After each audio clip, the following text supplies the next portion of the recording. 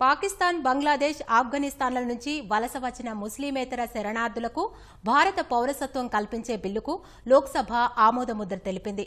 మూడు వందల పదకొండు ఎనభై ఓటర్ల తేడాతో పౌరసత్వ సవరణ బిల్లు దిగువ సభ ఆమోదం పొందింది. అర్ధరాత్రి వరకు బిల్లుపై వాడీవేడిగా జరిగిన చర్చలో మతపరమైన వివక్ష బిల్లులో ఉందని విపక్షాలు ఆరోపించగా ప్రభుత్వం తోసిపుచ్చింది. మోదీ పాలనలో ముస్లింలకు ఎలాంటి అన్యాయం జరగబోదని కేంద్ర హోంమంత్రి అమిత్ షా స్పష్టం చేశారు.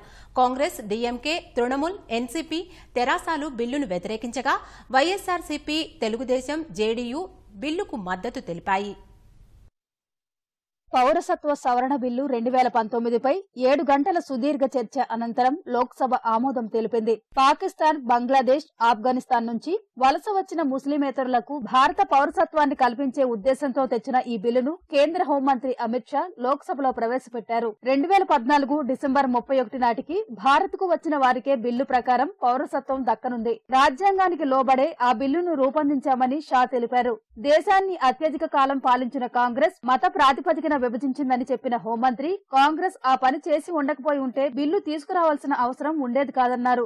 ఆఫ్ఘనిస్తాన్ బంగ్లాదేశ్ పాకిస్తాన్లో మతహింసకు గురై వచ్చిన హిందూ బౌద్ధులు జైనులు సిక్కులు పార్సీలు క్రైస్తవులకు ఈ బిల్లు ద్వారా పౌరసత్వం కల్పిస్తామన్నారు. అయితే బిల్లుపై Congress DMK NCP Trinamool TRS MIM అభ్యంతరం వ్యక్తం చేశాయి. ముస్లిమేతరులకు మాత్రమే దేశ పౌరసత్వం ఇవ్వడంలో ఔచిత్యమేమిటని ప్రశ్నించాయి.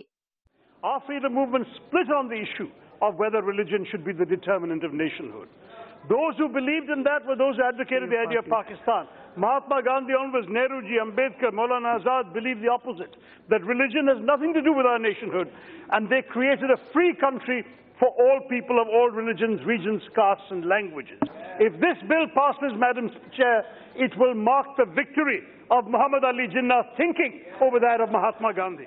इस बिल को एनआरसी के नज़र से देखने की ज़रूरत है। जो आसाम में एनआरसी हुआ, मैडम, वहाँ पर 19 लाख लोगों के नाम नहीं आए। इसमें से खुद वहाँ के मंत्री कहते हैं कि पाँच लाख चालीस हज़ार बंगाली हिंदू हैं। मैं होम मिनिस्टर जानना चाह रहा हूँ। सिक्स ए के तहत जितने बंगाली हिंदू हैं, उन पर जो मुकदमा चलेगा, वो अबेट हो जाएगा। और किस पर मुकदमा चलेगा? फॉरन सिविल से मुसलमानों पर। बताइए होम मिनिस्टर साहब, ये डिस्क्रिमिनेशन नहीं है? आसाम के पाँच लाख चालीस हज़ार बंगाली हिंदुओं के लिए आप ये कानून बना रहे हैं। और जब एनआरसी हो जाएगा, अगर अमित शाह साहब का नाम नहीं आएगा, और उन्हीं के पार्टी के किसी एक मुसलमान का नाम नहीं आएगा तो सीएबी के ज़रिए अमित शाह का नाम आ जाएगा। मुसलमान का नाम नहीं आएगा। ये इनकी साजिश है कि स्टेटलेस बनाना मुसलमानों को।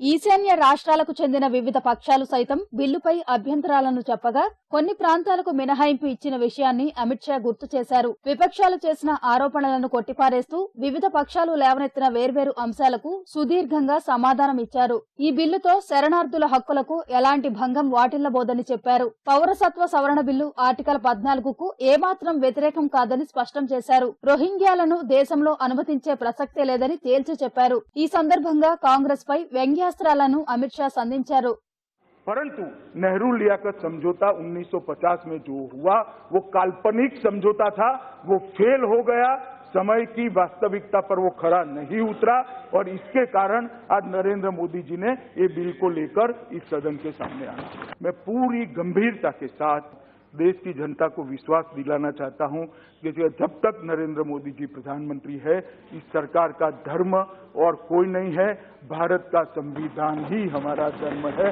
और भारत के संविधान के पर पूरे दिन इस प्रकार से चित्रण किया गया कि हम मुसलमानों के साथ अन्याय कर रहे हैं।